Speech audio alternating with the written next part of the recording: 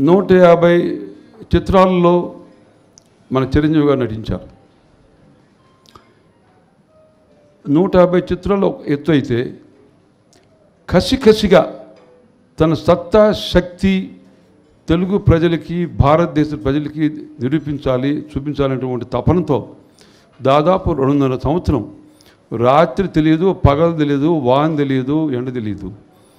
కృషి చేసి ఆ సినిమా ఏమిటి ఆ సినిమా అంటే దాదాపు రెండు వందల సంవత్సరాల క్రితం రెండు వందల సంవత్సరాల క్రితం నరసింహారెడ్డిని ఒక అద్భుతమైనటువంటి ఒక వీరుడు ఆయన బ్రిటిష్ వాళ్ళని గడగడలాడించి ఉయ్యాల వాడు నరసింహారెడ్డి.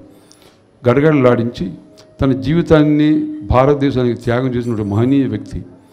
ఆయన ఇంకోటి చెప్పాలంటే ఎందరో అమర జీవులు వారి అమూల్య జీవితాలను త్యాగం చేసి వెచ్చని రక్తాన్ని భారతమాత పద్మాలకి పారాని గావించి ఎర్రకోట బురుజుపై త్రివర్ణ పతాకాన్ని ఎగరవేసి భారతదేశ దేశదాస శృంఖాలను బద్దలు కొట్టి మనకు స్వాతంత్రం సంపాదించిన మహనీయుల్లో ఈయన ఒకడు ఆ చరిత్ర తీసుకొని దాన్ని భారతదేశం వ్యాప్ అన్ని భాషల్లో కూడా పలా నరసింహారెడ్డి అటువంటి అద్భుతంగా ఉంటే ఒక మహావీరుడు ఏ విధంగా జాతి కొరకు భారత భూమి కొరకు త్యాగం చేశాడు దాన్ని నిరూపించడం కోసం మన చిరంజీవి ఛాలెంజ్ కింద ముందుకు వస్తే ఆయన కుమారుడు నేను నిర్మిస్తాను. మాటలే జోక్.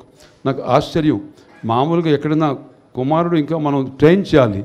కానీ చిన్న వయసులో Ram Charan simple humble down to earth affectionate but spectacular phenomenal magnificent personality ఇది రామ్ చరణ్. ఈ సినిమా నిర్మించడానికి ముందుకు వచ్చాడు అంటే ఇట్స్ అన్బిలీవబుల్ మామూలుగా జరగదు. నేను దాదాపు యాభై ఏడు సంవత్సరాల నుంచి బిజినెస్లో ఉన్నాను రాజకీయంలో ఉన్నాను అన్ని ఉన్నా ఉన్నాను. కానీ రామచంద్రలాగా అంత ధైర్యంగా వచ్చి కొడుకు చేయడం అసంభవం ఈ వయసులో. కాబట్టి దమ్మున్న మక్తి శక్తి ఉన్న మనిషి మనసున్న మనిషి రామ్ చరణ్ నేను ఎక్కువ పొగుడుతున్నాను కాదు Chiranjeevi feels proud. My son is such a wonderful. So ఒక అమ్మాయి హీరో సినిమాను వదిలేసి నిర్వహిస్తే లాభం లేదు. ఆయన డబల్ రోల్. ఒకవైపు సినిమా యాక్ట్ చేస్తున్నాడు మరొక వైపు నిర్మిస్తున్నాడు. ఈ మ్యాజిక్ అందరూ నేర్పించాలి బాబు నువ్వు అసలు అందరూ కంప్లీట్గా అద్భుతం నిజంగా అది కామెంట్. మళ్ళీ ఇది డౌన్ టు అర్త్ అది లేదు అంకుల్ నేను ఎన్నుకుంటాను నాకు పొగడుతులు వద్దు అంటాడు. సింపుల్గా తింటాడు సో ఏదేమైనా నా ఈరోజు కోట్లాది తెలుగు ప్రజల హృదయాలని తట్టి సారీ ఫర్ ఇంటర్ఫీరెన్స్ ఆ? ఇంతమంది ఉన్నా సరే దర్శకుడు లేకపోతే ఈరోజు సైరా లేదు. ఎవరు లేకపోతే? దర్శకుడు లేకపోతే సైరా లేదు. సో వస్తాను. సురేంద్ర రెడ్డి లేకపోతే ఎట్లా? అందరిని one by one by one by one పిలుస్తాను ఆయన.